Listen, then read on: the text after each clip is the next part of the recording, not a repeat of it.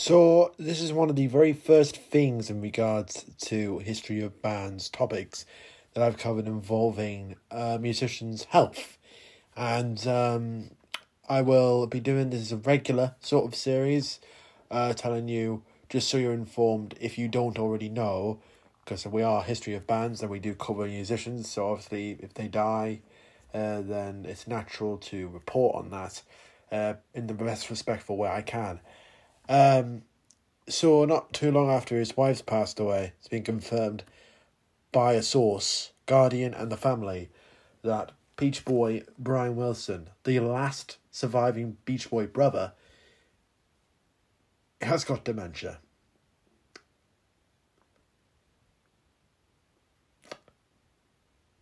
It's it's sad. It is. Especially when you take into account of all the things he's been through in his life, just to end up getting our you know Alzheimer's slash dementia. Now, it wouldn't be as bad, and I say this in a respectful way. It wouldn't be as bad if there were two Beach Boy brothers by his side, Carl and Dennis. But as we all know, they passed away years ago, and only Brian is the last brother standing. The last two remaining original members of the Beach Boys, well, three at the moment, is Brian, Mike, and Al. But as we all know, that could change. Due to the dementia diagnosis, it's understandable that he'll deteriorate and eventually he will die. We all know that, let's be realistic.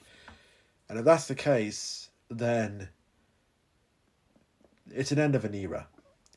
Brian is such a talented musician, such a, a fantastic writer, that it's unbelievable that he could fall under a terrible illness. I'm not saying that this is great to exploit. But Brian doesn't deserve this. He doesn't deserve to to be beaten at the hands of a deadly memory loss killer. It basically is memory loss killer. And it's going to take the life, as it does with a lot of people, of a brilliant writer and a man who could, in a few weeks' time, not forget what he's done. And just think about that. Now, I'm sad about this because this is the first time a very well known musician has been diagnosed with something like that. And this has come from a very obvious point and stand. Like I say, Dennis Wilson died in 1983 and Carl Wilson died in 1998. Dennis died of drowning, Carl died of cancer. But to Brian to get dementia, it, it it's pretty sad. Brian doesn't, like I say, does not deserve this at all. He certainly doesn't deserve any of this. In a way, I just expected him to surpass for years. But he is 82 this year and he has lived a good life, full of very good terms of service to music.